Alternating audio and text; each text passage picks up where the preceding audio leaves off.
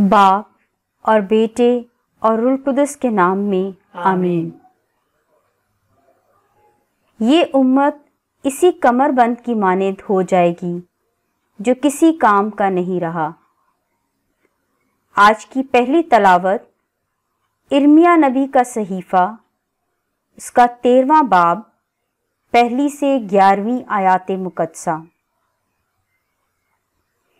एक दिन खुदावन ने मुझे यूँ फरमाया, जा और अपने लिए कतान का एक कमरबंद मूल ले और उसको अपनी कमर पर बाँध और उसको पानी में ना भिगो। सो, मैंने खुदावन के कलाम के मुताबिक एक कमरबंद मूल लिया और उसको अपनी कमर पर बांधा। फिर दूसरी दफ़ा खुदावन मुझसे हम कलाम हुआ और कहा, अपना खरीदा हुआ कमरबंद जो तेरी कमर पर है, ले और उठकर फरात पर जा। और वहाँ उसे चट्टान के सुराख में छुपा दे। तब मैं गया और उसको फरात के करीब छुपा दिया, जैसा खुदावन ने मुझे हुक्म दिया था। और बहुत दिनों के बाद खुदावन ने मुझसे कहा, उठ, फरात को जा, और वहाँ से वो कमरबंद निकाल, जिसकी बाबत मैंने तुझको हुक्म दिया कि वहाँ उसे छुपा दे। बस मैं फरात को गया और खोदा और कमरबंद को उस जगह से निकाला, जहाँ मैंने उसे छुपा दिया था। तो देख वो कमरबंद बोसीदा हो गया था और किसी काम का ना रहा था। तब मेरे साथ खुदावन का कलाम किया गया और उसने कहा खुदावन यूँ फरमाता है कि इसी तरह से मैं यहूदा की मगरूरी और यरूशलेम की बड़ी मगरूरी को बोसीदा करूँगा। ये शरीर उम्मत जो मेरा कलाम सुनने से इनकार करती है और अपने दिल की जिद पर चलती और दूसरे माबूदों के पीछे जाती है, ताकि उनकी परस्तिश करे और उनको सिजदा करे। ये इसी कमरबंद की मानद हो जाएगी जो किसी काम का ना रहा। क्योंकि जैसा कमरबंद इंसान की कमर से लगा रहता है इसी तरह मैंने इसराइल के सारे घराने और यहूदा के तमाम घराने को अपने साथ लगा लिया था। यूँ खुदावंत का फरमान है, ताकि वो मेरे लिए उम्मत और नाम और हम और फ़ख्र हों, मगर उन्होंने ना सुना। पाक कलाम के पढ़े और सुने जाने पर खुदा की बरकत हो। खुदा खुदा का शुक्र हो। जमाती जवाब तुम अपने खालिक खुदा को भूल गए हो। तुम तुम अपने खालिक खुदा को भूल गए हो। उस चट्टान से जिसने तुझे पैदा किया तू गाफिल हुआ और अपने खालिक खुदा को तू भूल गया। और खुदा ने देखा और मुतनफ़र हुआ और अपने बेटों और बेटियों से गुस्सा हुआ।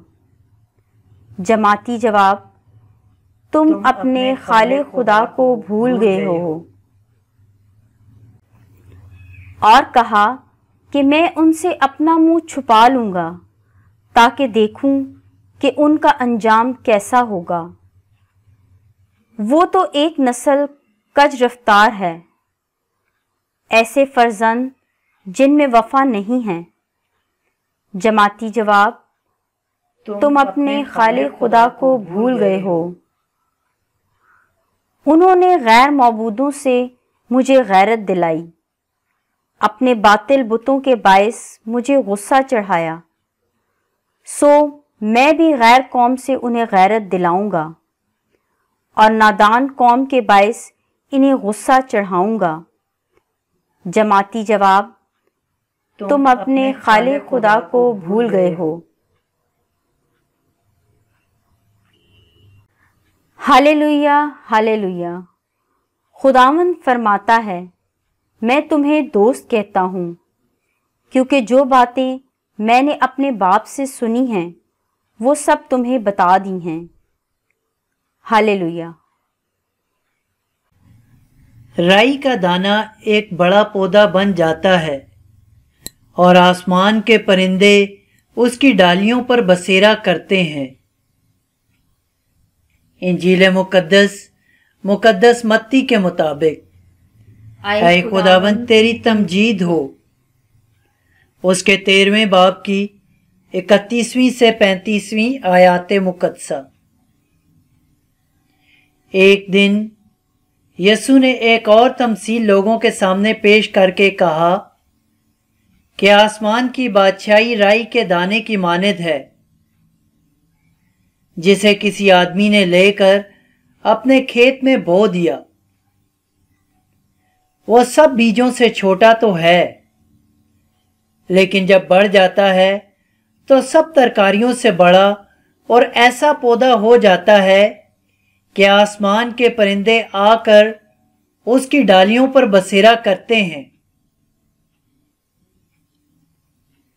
उसने एक और तमसील उनको सुनाई,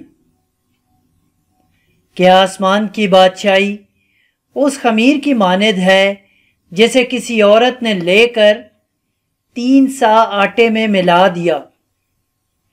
यहाँ तक कि वो सब खमीर हो गया।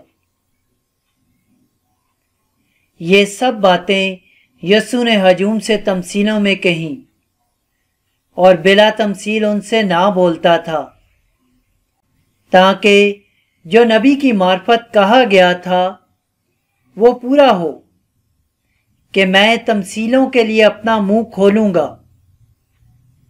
मैं बनाए आलम के इसरार ज़ाहिर करूँगा। इंजील मुकद्दस के वसीले से हमारे गुनाह माफ़ किए जाएँ। ऐ मसीह तेरी सिताइश हो